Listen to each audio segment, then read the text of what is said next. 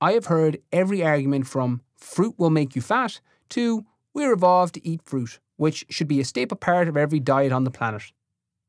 There are very few topics which I can argue just as strongly on both sides. On one hand, I'm a massive fan of the vitamins and minerals that fruits naturally contain. In addition, if timed right, they can balance blood sugar and enormously curb a natural sweet tooth. On the other hand, fructose is converted to glucose pretty quickly, and excess of it can lead to unnecessary fat gain.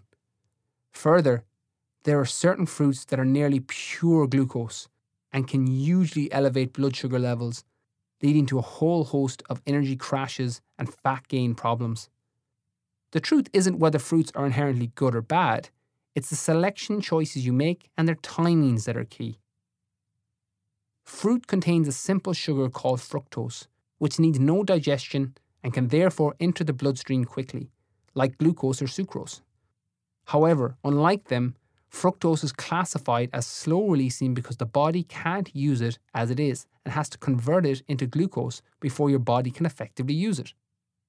This slows down the sugar's effect on the metabolism. Some fruits, such as grapes, mangoes, and dates, contain pure glucose and are therefore faster releasing. Bananas contain both fructose and glucose and thereby raise blood sugar levels quite speedily and are thus worth watching out for.